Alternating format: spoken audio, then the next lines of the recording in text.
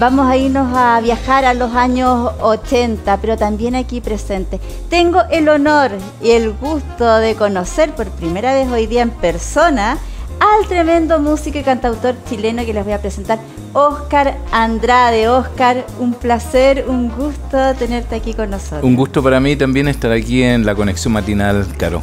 Bueno, quiero recordarles a todos ustedes dos grandes éxitos que están en la memoria colectiva de la fogata, están en la memoria colectiva de todo lo que fue la música en los 80. Dos tremendos hits, La Tregua y Crónicas de TV. Noticiero Crónico. Noticiero Crónico, Oscar. Eh, fue una época, tú no tenías 18 años todavía, cuando estos fueron hits. Eh, mira, empecé. ¿Qué significó para ti eso? Es como. Raro. Raro, raro, raro porque yo era un, chico de barrio normal, de un barrio santiaguino, y de pronto el noticiero crónico fue un boom tan espectacular que yo no sé si habrá hasta el día de hoy una canción que haya durado prácticamente seis meses en el número uno del ranking nacional y fue un boom a tal punto que yo llegó un momento que verdaderamente, igual que los Beatles, no podían andar en la calle. O sea, eh, estaba en un semáforo rojo, el tipo del auto al lado me miraba, el de la otra empezaban a decir, mira quién está ahí. O sea, era la, la, la vida me cambió del cielo a la tierra completamente. O sea. Oye, pero tú en esa época también incluso necesitabas en el periodo de entrar a la universidad, decidir qué estudiar. Sí. ¿Qué pasa ahí con, la familia? Yo quería ser feliz con lo que hacía, porque me di cuenta que uno pasa en el trabajo más que en ningún otro lugar. Entonces, si tú vas a pasar gran parte del día en el trabajo o a estar pendiente de él, tienes algo que te otorgue felicidad por sobre las conveniencias económicas, porque no hay ninguna carrera que te asegure eh, una ganancia económica. Hay médicos que no ganan tanto dinero, hay otros que son millonarios, pero también hay artistas que son millonarios y que no dan un peso por ello. Entonces dije, bueno, si es tan variada todo el asunto, quiero ser feliz, cerré la guía ingreso a la universidad, tomé la guitarra y me fui a buscar trabajo a una UAT acá en el centro de Santiago que se llama Night and Day. Sí. Y ahí te gustaba mucho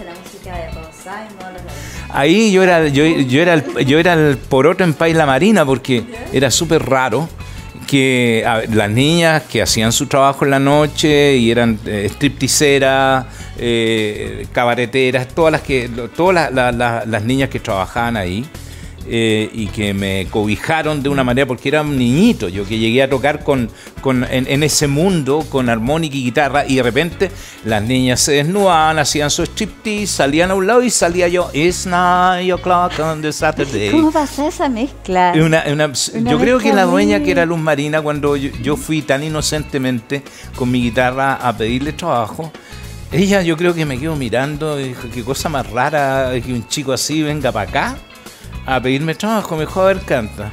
Y estaba Carlos. ¿Qué le cantaste? Eh, el hombre del piano. Y le canté Blowing in the Wind de Bob Neil Diamond, bueno, yo creo que fue para ti una inspiración. Claro, entonces yo salía cantando Cat Steven, Neil Diamond, Blowing in the Wind de Bob Dylan. Pero esa noche, recuerdo cuando estuve la primera vez, estaba un, integrante de la nueva ola que era Carlos González ya que era un excelente músico. Y cuando empecé yo a tocar el hombre del piano en guitarra y armónica, de repente sentí que el piano, eh, un piano me acompañaba con la canción. Y yo miré hacia el lado y era Carlos González que se metió al piano y empezó a acompañar y excelentemente. Y eso para mí fue una sorpresa. Yo creo que él ayudó mucho a que yo quedara ahí eh, con el trabajo. Mira, y de tocar eh, en este lugar, que era como un nicho bien, bien diferente y cerrado, pasar a Festival de Viña, pasar a presentar un tema a la OTI. Hay un salto tremendo Hay un salto tremendo. poco tiempo. Sí, eh, eh, el, asunto es que este lugar, el Nayan Day, era súper divertido porque había toque de queda. Y a la una pasaba la última micro hacia Independencia que yo viajaba y que iba llena de músicos porque todos los músicos de la noche iban en la última micro y era un tandeo, todos tocando, era, era muy entretenido. Y, pero cuando no podíamos, me tenía que quedar toda la noche con todas las niñas, todo escuchando la historia, y yo con los 18 años con los ojos así abiertos con todas las historias que había. Pero después pasé, claro, eh, de ese mundo bien romántico, igual, bien bonito. Yo tengo muy bonitos recuerdos de esas noches en el Lion Day, eh, por la novedad, por un cabro de 18 años. Entonces, eh, después entré em, a Viva Mi Música, un programa en Canal 9 está Roberto, Roberto Bueno, que creo que todavía sigue trabajando productor. Él me vio llegar con una guitarra, me dijo, ¿qué es lo que sabe hacer? Me senté en una silla, en una pieza, le canté Stand By Me de John Lennon. Y me dijo, espera, espera, quédate aquí, quédate aquí. Fue y volvió con seis productores y me dijo, tócala de nuevo. Entonces le gustó. ¡Qué emoción! Tócala- volvió con seis productores. Y, y- y todos me miran, eh, Pepe Gallinato, Mirta Furioso, que, que era Sí. la prima bailarina del Ballet de Buenos Aires. Y ellos me escucharon.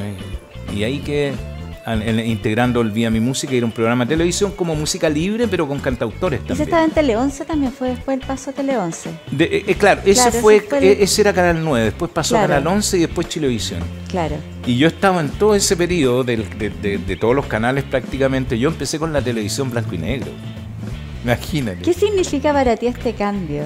Ver todo este proceso. El Tú nunca has dejado la música. en Es bien bonito llegar Sí. acá a Chile y ver a, un- a una generación de productores, animadores jóvenes que yo no conocía. Yo ahora te estoy conociendo, eh, de los animadores más antiguos. Gracias por lo de joven.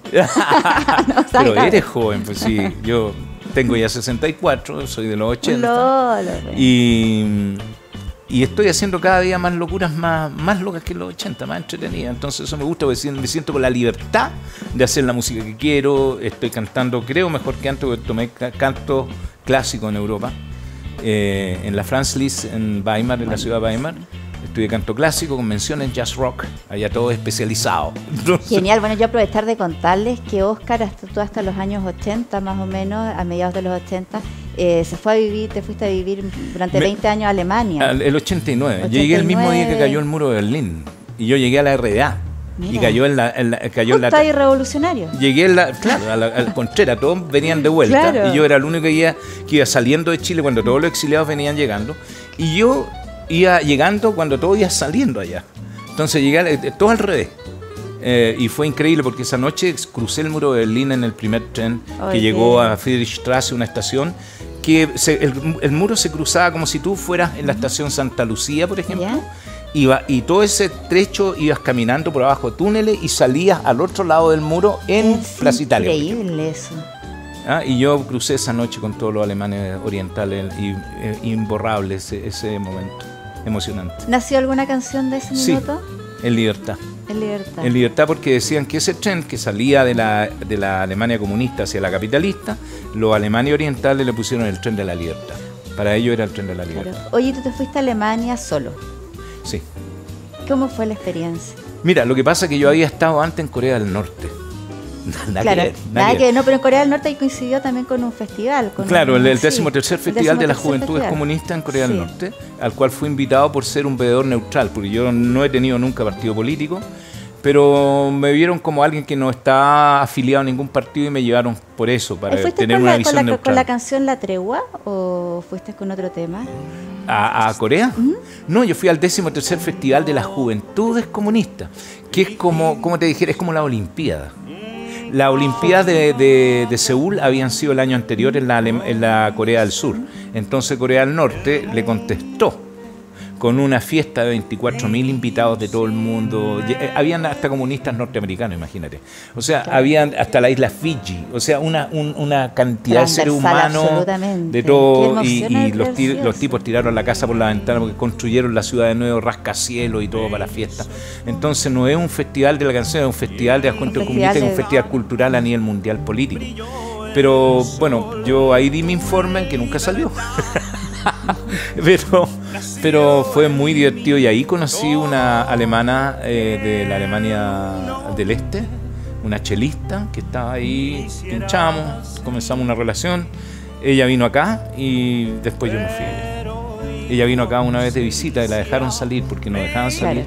Y cruzó el muro, vino acá, se iba a venir por 20, 25 días. Al cuarto mes la estaban llamando que por qué no volvía, pues estaba alucinada acá. Estaba feliz. En una época que, claro, era muy, muy difícil. Salió en televisión, estuvo en Sábado Gigante, ella tocando con Su con su chelo. chelo. Imagínate lo que logró, tocar a Bach en Sábado Gigante con chelo a mitad de la tarde. Eso, eso fue una hazaña. Vamos a buscarlo eso. Pero, a pero, pero a la gente le encantó. Le encantó que se mandó dos. Ella era muy buena chelista. Y salió vestida de hombre, muy bonita, rubia, todo, pero eh, le encantó a la gente. Después me dice, soy famosa, anda a la calle, le encantaba, no quería volver a Alemania. Pero nada, Oscar, ¿cómo fueron estos 20 años en Alemania? Bueno, ya comentaste, hubo estudios entre medio. Mira, eh, fue... Eh, yo no sé cómo lo hice, pero lo hice. O sea, cómo mantenerse allá sin llegar con nada, con 500 dólares. atravesé el muro. Em, yo creo que algo me guió de arriba. No tengo otra explicación. Cómo llegué a una ciudad como esa, además, sin saber dónde llegaba, una ciudad que tiene 64.000 habitantes, eh, que es la raíz cultural más profunda de Alemania. Yo no sabía nada de eso. Y de repente veía que estaba la casa de Bach, estaba la casa de Wagner, Schiller, Schopenhauer, Nietzsche, Kandinsky, Goethe. Eh, todos los más grandes vivieron en esa ciudad. Yo no tenía idea dónde llegaba y empecé a descubrir de a poco y, dije, wow, ¿dónde estoy? Y de repente empiezo a conocer además a los tipos músicos que iban a la vanguardia a nivel mundial. Son los que le hacían, los, que le hacían los, los sonidos a la Roland, a la Yamaha, a la Korg, todas esas firmas grandes. Estos gallos eran los que inventaban los sonidos a través de cuestiones de la naturaleza y con una filosofía esotérica de Rudolf Steiner. Entonces, un bolón, un bolón, se me olvidó Marte 3, esa voz gigante, pero... Claro, ahí hay un cambio de mentalidad absoluto. Yo tuve la suerte de estar en un colegio Waldorf, Rudolf, que la, ya, el Rudolf Steiner lo conoce. Steiner, que ahí uno se da cuenta que la música es parte... Vivió en Weimar también Rudolf Steiner. Sí. es parte de la vida del Goethe, es parte, de, es parte de, de una forma. ¿Qué pasa a ti cuando tú ves ese mundo y ves a Chile también a lo lejos? Eh, sin embargo, pero siendo propio. Mira, hay un Chile tuyo, un Chile que en el fondo dejaste. Eché siempre de menos la luz de mi país. La luz, em, el sol, en los grados, yo creo que en Alemania hay uno o dos grados menos de, luz. De hecho, dura el invierno casi nueve meses. Eh, hay mucha tasa de suicidio justamente por la falta de luz. En los países escandinavos pasa lo mismo. Eh, y la luz es fundamental porque te da alegría te da alegría y, te hace sentir la vida de otra manera. Eh, los árboles acá son más suaves, allá son un poco más toscos, seguramente por el clima que es más duro. Eh, todo era muy diferente, incluso eh, el agua no me, no me saciaba la sed. Entonces, eh, después ya me fui acostumbrando, le fui tomando el gusto, pero siempre me quedaba Chile, Chile, Chile, aquí en la cabeza adentro. Incluso los últimos 3, 4 años no formé banda. Estaba tocando prácticamente con guitarra porque no quería formar una banda porque sabía que me iba a venir. Y eh, hacer una banda, ilusionar a chicos con una carrera y todo el asunto y después, te vas, es un bajón muy grande para ellos. Entonces preferí no hacer banda y seguir tocando solo. Eh, los últimos dos o tres años toqué solo. No tocaba mucho porque tenía Chile y estaba preparando, más que nada estaba más metido en las grabaciones de estudio. ¿Y qué pasa cuando regresas a Chile? Uh. Emociones encontradas, eh, para bien y para mal, porque a veces pasan los años y tú te empiezas a enterar de cosas que tendrías que haberte enterado cinco o seis años antes, que las empiezan a contar después. Em, por ese lado a veces llega a ser un poco duro. Las venidas, cuando yo venía acá, siempre pasaba algo cerca mío o en el país, eh, pero siempre queda la parte jovial, eso que estamos viviendo ahora, de estar conversando en el mismo idioma, con las mismas terminologías. Con la misma eh, historia en el Incluso las relaciones de pareja. Tú le tienes que estar explicando a tu pareja qué es lo que es el Festival de Niña, por ejemplo. O por qué este chiste es gracioso y ahí ya como que empieza a ponerse un poquito más fómero. En cambio aquí lo, me acuerdo que una vez fui a España a cantar, me llevaron a Madrid, canté en un, en un festival de, de cantautores iberoamericanos. Y fue muy divertido porque yo hacía 10 años, más de 10 años que yo estaba cantando solo alemanes. Entonces tú te das cuenta que allá uno desarrollé una manera de cantar que tiene que ver mucho con la emocionalidad en, el, en, los tonos de la voz. Más que en la Claro, la, emisión de la voz. Y como estaba estudiando música, eh, canto clásico, eh, estaba muy metido en la, en la interpretación. Entonces, eh, cuando tú te empiezas a dar cuenta que tú tienes que comunicar con la emoción más que con la palabra, porque no te entienden el idioma. Yo cantaba ya en español. Y como no me entendían, bueno, me iba bien igual porque trataba de marcar las emociones en lo que estaba diciendo, tratando de comunicarme casi de una manera telepática eh, en, la letra. Y me acostumbré a eso por 10 años. Hasta que esa vez fui a Madrid, no había cantado en 10 años a público que me entendiera el idioma. Y fue tan alucinante cuando estaba arriba, empecé a cantar y caché que me están entendiendo todo. Dije, qué alucinante, me entienden todo. Fue una sensación muy ridícula. O sea, pero, es ridículo en el sentido de al contarlo, pero la emoción que debe ser. que me están entendiendo lo que canto, qué alucinante. Imagínate. O sea, es todo otro mundo y allá sí me despegué de la música latina, me entré más que nada a la música clásica, a la música experimental y a la, música anglosajona. Entonces, porque es otro mundo musical allá. ¿Y hoy día va a haber una mezcla de eso en tu música? ¿Va a haber una mezcla de cantautor que conocemos? Sí, de hecho estoy haciendo una canción muy entretenida. Ya, dale, dale, dale. no, es que, todavía no está terminada, pero se, la voy a dedicar a muchos que están mirando ahora, porque después de la pandemia se llama Guatón pero una canción que empieza, empieza una canción que es muy Johnny Cash, ¿ya? Muy Johnny Cash y de repente te vaya la cumbia, está igual, está igual. Es muy entretenida. Entonces ahí es mezcla de los dos mundos que tú estás hablando, el anglosajón y el latino. Qué buena. Oye, ¿dónde te podemos ver? ¿Dónde estás haciendo en este minuto? Mira, yo en este momento estoy programando, como se está abriendo recién la cosa, se me han caído como tres eh, conciertos justamente por esta cuestión de que está empezando un, un, no y además que se están instalando nuevos eh, porque cerraron muchos locales pero se están abriendo otros locales nuevos. Entonces hay mucha gente que está abriendo locales y no sabe trabajar por ejemplo en la parte de publicidad. No sabe trabajar. Entonces en Olmué tuvimos que suspender porque eh, voy a estar el 12 de febrero en Olmué, aprovecho de, decirlo. Sí, pues ahí atención para todos y, los que están claro, antes del Día de los Enamorados. Hay una, una buena forma de ir a conquistar vamos a estar con, los músicos. Tengo que decir que tengo excelentes músicos. Estuvimos en el Capulicán el 9 de octubre. Nos fue muy bien. Hay algunos videos. Y que alucinado con la participación del grupo musical que lo elegí con pinza. Pero ellos también quedaron muy alucinados con lo que hicimos entre todos. Así que estamos con todos los bríos dispuestos a ir a, a, donde nos llamen. Vamos a estar haciendo una pequeña gira por la. Vamos a estar también en Granero, vamos a estar haciendo giras que están fechas por confirmar, pero, están entre enero y febrero. Perfecto, vamos a estar atentos y vamos, ahí estamos viendo en pantalla las redes sociales de Oscar, que sin duda ahí vamos a estar informando las próximas tocatas, los próximos conciertos, en Oscar Andrade Oficial también en Facebook. Qué lindo viaje en, para el YouTube. En YouTube también. Oscar Andrade Oficial también en YouTube. En YouTube. Y claro, y ahí podemos ver también tus canciones y poder ver los videos. Y este año que viene un lanzamiento bien especial de un tema que va a causar, yo creo, bastante sorpresa y se llama Volar.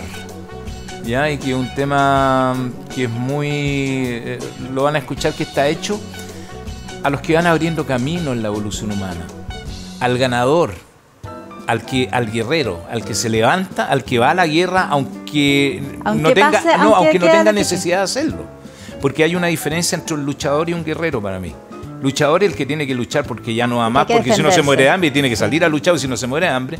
Y el guerrero es el que está constantemente luchando y que nació para eso, eh, eh, sea la guerra espiritual, sea la guerra... Esa guerra propia, esa es distinto. Y esto está hecha para esa gente, eh, a los que se tiran de estos acantilados, y que muchas veces no tienen por qué hacerlo, tienen una vida cómoda, y esto sí, estos gallos se están a punto de matar y lo tienen todo.